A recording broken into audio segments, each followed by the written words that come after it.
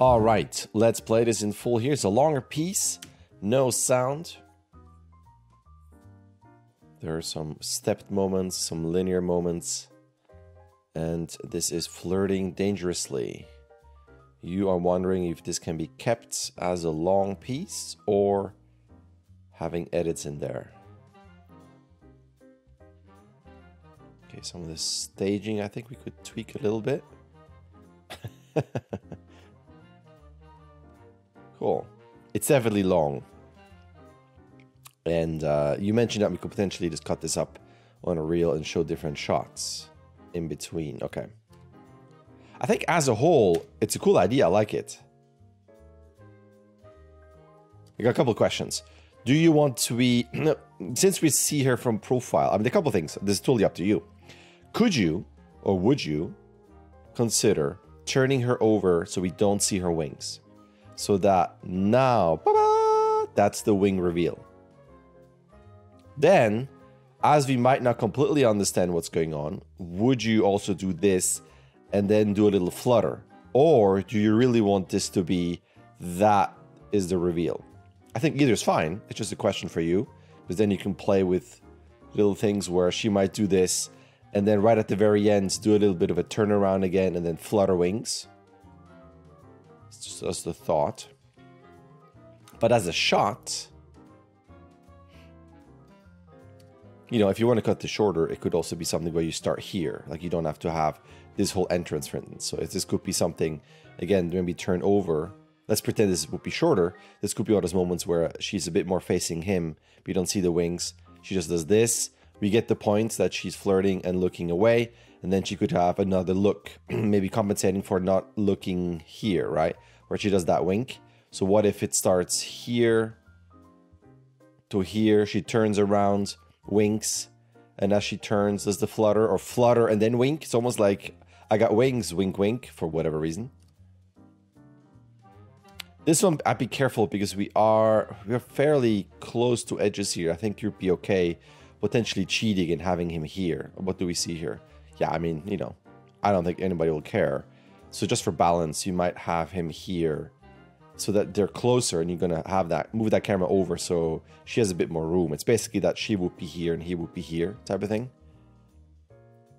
because as we're doing this it's just a bit uncomfortable how close to the edge he gets all the time and her as well where to me this seems a bit more comfortable but then it's still a lot of empty space so my question is what are you trying to show in this shot she's walking he's walking but then he's gone she walks to the edge and does this.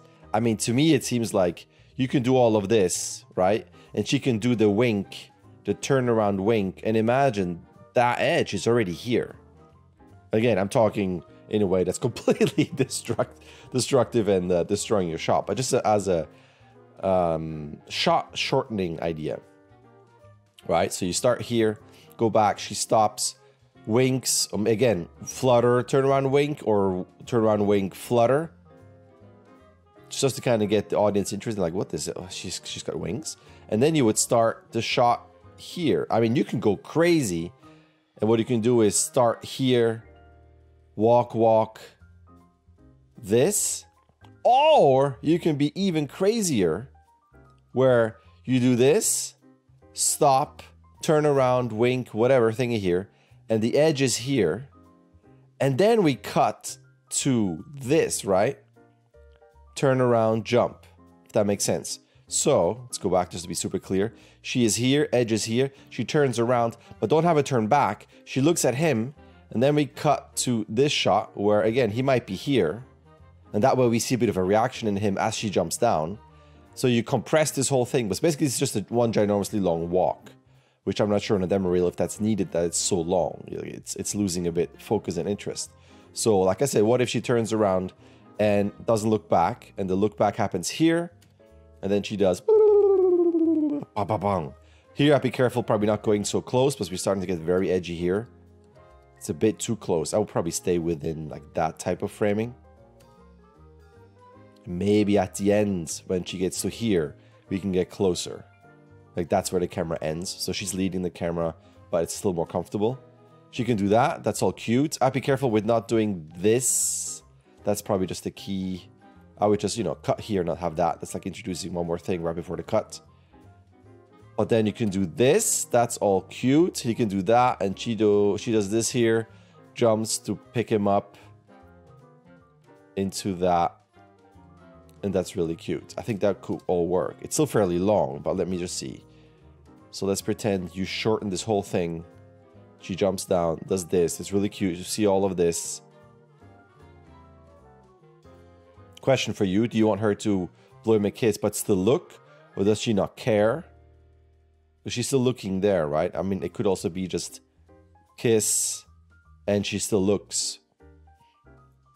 And then he goes down, does this. That's fine. I think just for a visual thing, I would just cheat this surface and bring it all the way up. And I know this is technically not what it is in 3D space, but it almost feels like it's not that high, it's not that dangerous. But just to kind of cheat the feeling of he fell down the cliff, I would personally just cheat this and have this all rock face. But then she goes up, picks him up. Again, this could be a bit further away so we can see a bit more. You don't have to, but I'm wondering if it could be just be a bit further away. Maybe. I don't know. Actually, I take this back. I think it should be okay. And you can really focus on, on the head. And it should be messier and not so clean. So that maybe he's turned a bit towards us and he can look down. Or, well, I know he's transfixed by her, but is, is he always? At what point does he snap out of it? I mean, that's a question for you.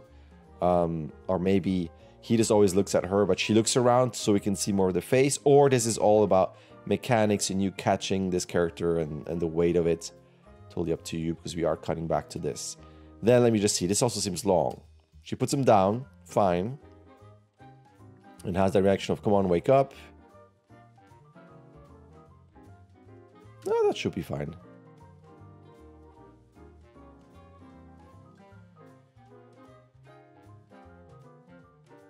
No, it's cute. I think that could be okay. Just uh My question to you is that uh, I mean at this point he gets shaken and laughs, but is he always completely transfixed? I mean he's completely hypnotized all the time. I wonder would that be an interesting thing of waking him up and doing something? Is that like I said something where this actually wakes him up? Maybe he's all freaking out, freaking out until she does this. And that moment of pause gets it back into, oh, and he's back into leaning forward and being la la la la, la stars in his eyes. And then they continue. That could be an interesting contrast for him. So that scare wakes him up. And she does that, you know, like, come on. Maybe that's less of a wake up, more like, calm down, calm down, it's fine, it's fine. And then she has that look, and then he gets back to being hypnotized type thing uh, and then they walk out. I don't know. That's a thought. Lots of thoughts, lots of crazy thoughts. Let me know. Um, you are open to cut changes, you say. But I don't know. So I'm throwing things out there. Let me know what works for you. Thank you. All right. There's an email. You can sign up. You can start whenever you want. You can submit whenever you want. You get 16 submissions. Either way, a like and subscribe would be awesome. All right. Thank you.